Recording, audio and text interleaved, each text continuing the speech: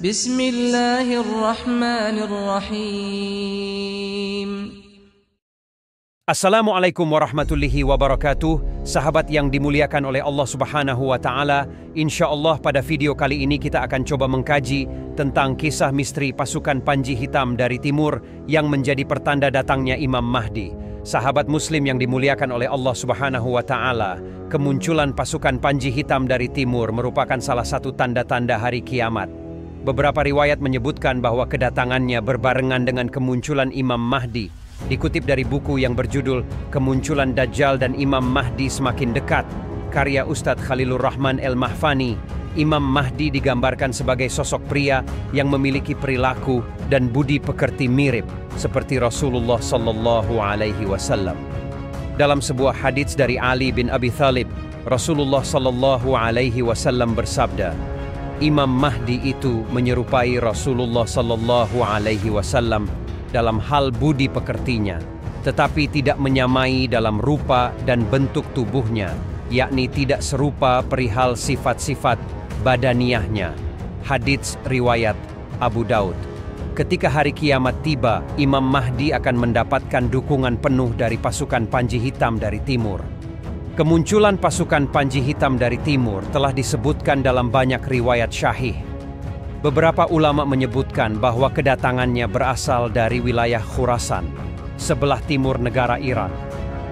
Diriwayatkan oleh Imam At-Tirmidzi dari Abu Hurairah bahwasanya Rasulullah Shallallahu alaihi wasallam bersabda, akan keluar dari wilayah Khurasan bendera-bendera, panji, hitam, di mana tidak ada satupun yang menghalanginya hingga ia dikibarkan di wilayah Ilya, Yerusalem. Kelak, pasukan tersebut akan membersamai kaum muslimin.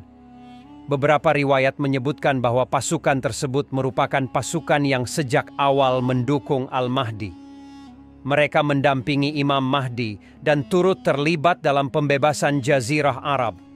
Disebutkan dalam hadits yang lain, riwayat dari Ibnu Majah, bahwa Rasulullah Sallallahu Alaihi Wasallam bersabda, Kemudian muncullah bendera-bendera hitam dari arah timur, Lantas mereka memerangi kaum dengan suatu peperangan yang belum pernah dialami oleh kaum sebelummu. Kemudian beliau melanjutkan sabdanya, Maka jika kamu melihatnya, berbayatlah walaupun dengan merangkak di atas salju, karena dia adalah khalifah Allah, Al-Mahdi. Terkait pembayatan tersebut, beberapa riwayat mengatakan bahwa letaknya berada di Baitul Haram, Ka'bah pasukan Panji Hitam yang mendukungnya berasal dari sekelompok orang negeri timur. Ada satu riwayat mengatakan bahwa Al-Mahdi akan dibaiat oleh 313 orang. Siapakah mereka? Tidak ada penjelasan detail, akan tetapi kita harus belajar dari sirah Rasulullah Sallallahu Alaihi Wasallam 1400 tahun lalu. Siapa mereka? Wallahu alam.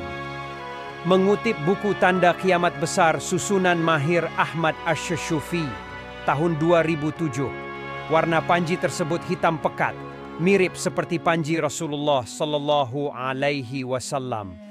Kemudian di tengah benderanya tertuliskan kalimat tauhid La ilaha illallah dalam tulisan Arab.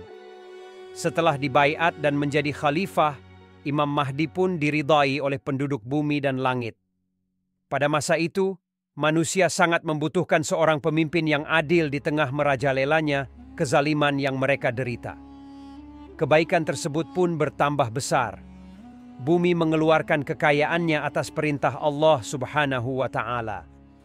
Harta juga bertambah berkali-kali lipat dan diberikan kepada orang-orang dalam jumlah besar. Menurut sebagian riwayat, Imam Mahdi hidup di tengah masyarakat dalam kurun waktu 7 sampai 8 tahun. Diriwayatkan oleh Abu Sa'id Al-Khudri radhiyallahu anhu, Rasulullah sallallahu alaihi wasallam bersabda, Al-Mahdi muncul di antara umatku yang terakhir. Allah menurunkan hujan, bumi pun mengeluarkan tumbuh-tumbuhannya dan dia memberikan harta dengan adil. Hewan-hewan ternak berkembang biak menjadi banyak dan umat menjadi mulia. Dia, Imam Mahdi, hidup selama tujuh atau delapan tahun. Hadis riwayat. Hakim. Wallahu alam. Demikianlah pemaparan kisah singkat dalam video ini. Mudah-mudahan menjadi pengingat bagi kita semua dan kita semakin mendekatkan diri kepada Allah Subhanahu wa taala dan mudah-mudahan kita selalu dalam lindungannya. Amin ya rabbal alamin. Assalamualaikum warahmatullahi wabarakatuh.